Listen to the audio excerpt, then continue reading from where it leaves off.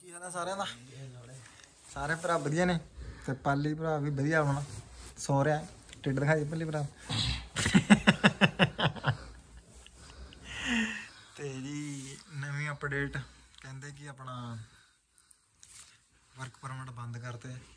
ਉਹਦਾ ਕੀ ਸਿਸਟਮ ਹੈ ਉਹ ਤੁਹਾਨੂੰ ਹੁਣੇ ਦੱਸ ਦਿੰਦਾ, ਮਿੰਟਾਂ 'ਚ ਕਲੀਅਰ ਕਰ ਦਾਂਗੇ। ਜ਼ਿਆਦਾ ਆਪਾਂ ਟਾਈਮ ਵੇਸਟ ਨਹੀਂ ਕਰਨਾ ਕੋਈ, ਠੀਕ ਹੈ ਤੇ ਜੀ ਉਹ ਇਦਾਂ ਸੀ ਸਿਸਟਮ ਹੈਗਾ ਜੀ ਕਿ ਜਿਹੜੇ ਪਬਲਿਕ ਪ੍ਰਾਈਵੇਟ ਕਾਲਜ ਨੇ ਤੁਹਾਨੂੰ ਵਰਕ ਪਰਮਿਟ ਨਹੀਂ ਮਿਲਣਾ ਹੁਣ, ਜੇ ਤੁਸੀਂ ਪਬਲਿਕ ਪ੍ਰਾਈਵੇਟ ਕਾਲਜ ਲੈ ਕੇ ਆਉਂਦੇ ਹੋ, ਠੀਕ ਹੈ ਦੋ ਤਿੰਨ ਚੀਜ਼ਾਂ ਨੇ ਮੇਨ ਮੇਨ ਉਹ ਸੁਣ ਲਿਓ, ਇੱਕ ਹੀ ਨਹੀਂ, ਇਹ ਵੀ ਕਰਤਾ ਕਿ ਜੇ ਤੁਸੀਂ ਤੁਹਾਨੂੰ ਹੁਣ ਇੱਕ ਉਹ ਚਾਹੀਦਾ ਆਪਣਾ, ਇੱਕ ਲੈਟਰ ਚਾਹੀਦੀ ਹੈ, ਮੈਂ ਨਾਂ ਭੁੱਲ ਗਿਆ ਉਹ ਲੈਟਰ ਦਾ, ਹਨਾ? ਪ੍ਰੋਵਿੰਸ ਤੋਂ ਲੈਟਰ ਚਾਹੀਦੀ ਹੈ ਸਪੈਸੀਫਿਕਲੀ ਜੇ ਤੁਸੀਂ ਅਪਲਾਈ ਕਰ ਰਹੇ ਹੋ ਆਪਣਾ ਸਟੱਡੀ ਪਰਮਿਟ ਆਫਟਰ ਮਾਰਚ ਠੀਕ ਹੈ ਜੇ ਤੁਸੀਂ ਉਹ ਨਹੀਂ, ਤੁਹਾਡੇ ਕੋਲੋਂ ਲੈਟਰ ਤੋਂ ਵਿਦਆਊਟ ਸਬਮਿਟ ਕਰ ਦੇਣਾ, ਤਾਂ ਤੁਹਾਡੀ ਫਾਈਲ ਡਿਕਲਾਈਨ ਕਰ ਦੇਣੀ ਨਹੀਂ। ਠੀਕ ਹੈ, ਕਿਉਂਕਿ ਇਹ ਇਹ ਵਾਲਾ ਇਹ ਸਟੈਪ ਇਹਨਾਂ ਨੇ ਤਾਂ ਚੱਕਿਆ ਕਿਉਂਕਿ ਮੋਸਟਲੀ ਬੱਚੇ ਓਨਟਾਰੀਓ ਜਾਂ ਸਿਰਫ BC ਚ ਜਾਂਦੇ ਸੀ ਸਟੱਡੀ ਕਰਨ ਤੇ ਇੱਥੇ ਰਸ਼ ਜ਼ਿਆਦਾ ਹੋ ਗਿਆ ਤੇ ਕੰਮ ਮਿਲ ਨਹੀਂ ਰਿਹਾ ਤੇ ਬਾਕੀ ਪ੍ਰੋਵਿੰਸਾਂ ਖਾਲੀਆਂ ਦੀ ਖਾਲੀ ਪਈ ਹੈ। ਇਸ ਕਰਕੇ ਆ ਵੀ ਇੱਕ ਅਪਡੇਟ ਆਈ ਹੈ, ਠੀਕ ਹੈ।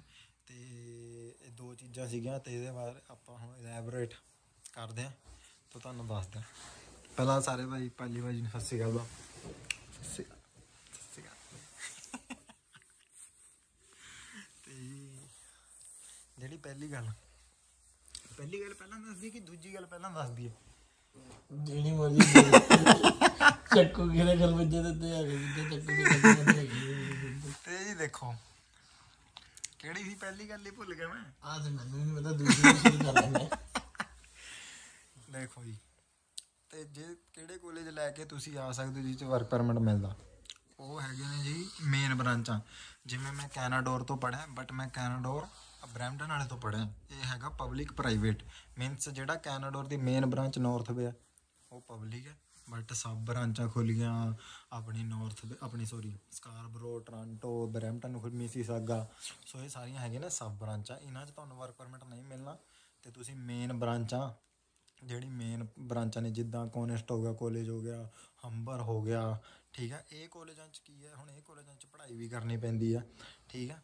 ਸੋ ਹੁਣ ਥੋੜਾ ਜਿਹਾ ਡਿਫਿਕਲਟ ਕਰਤਾ। ਹਾਂ ਸੈਨਿਕਾ ਵੀ ਹੈਗਾ ਆਪਣਾ ਮੀਨਸ ਇਹ ਵਾਲੇ ਕਾਲਜਾਂ 'ਚ ਤੁਹਾਨੂੰ ਜੇ ਤੁਸੀਂ ਵਰਕ ਪਰਮਿਟ ਲੈ ਕੇ ਆਉਂਦੇ ਹੋ, ਮਤਲਬ ਵਰਕ ਪਰਮਿਟ ਲੈ ਕੇ ਨਹੀਂ ਐਡਮਿਸ਼ਨ ਲੈ ਕੇ ਆਉਂਦੇ ਹੋ, ਤਾਂ ਤੁਹਾਨੂੰ ਵਰਕ ਪਰਮਿਟ ਮਿਲਣਾ। ਬਟ ਦੂਜੀ ਸਾਈਡ ਇਹਨਾਂ ਨੇ ਇਹ ਵੀ ਕਰਤਾ ਕਿ ਤੁਹਾਨੂੰ ਪ੍ਰੋਵਿੰਸ ਤੋਂ ਇੱਕ ਲੈਟਰ ਚਾਹੀਦਾ ਜੇ ਜਦੋਂ ਉਹ ਤੁਹਾਨੂੰ ਲੈਟਰ ਮਿਲੇਗਾ then you can apply for the ਹਨਾ? ਤਾਂ ਹੀ ਤੁਸੀਂ ਅਪਲਾਈ ਕਰ ਸਕਦੇ ਹੋ। ਅਦਰਵਾਈਜ਼ ਤੁਹਾਡੀ ਫਾਈਲ ਡਾਇਰੈਕਟਲੀ ਇਹਨੇ ਡਿਕਲਾਈਨ ਕਰ ਦੇਣੀ ਹੈ ਠੀਕ ਹੈ ਸੋ ਇਹਦੇ ਨਾਲ ਮੋਸਟਲੀ ਕਿਉਂਕਿ ਮੋਸਟਲੀ ਬੱਚੇ ਕੀ ਕਰਦੇ ਨੇ 80% ਬੱਚੇ ਨਾਲ ਜਿਹੜੇ ਪਬਲਿਕ ਪ੍ਰਾਈਵੇਟ ਕਾਲਜ ਵਿੱਚ ਹੀ ਆਉਂਦੇ ਸੀਗੇ ਕਿਉਂਕਿ ਥੋੜਾ ਤੁਹਾਨੂੰ ਪਤਾ ਸਟੱਡੀ ਦਾ ਇੱਦੀ ਸਾਰ ਲੈਂਦੇ ਸੀਗੇ, ਹਨਾ?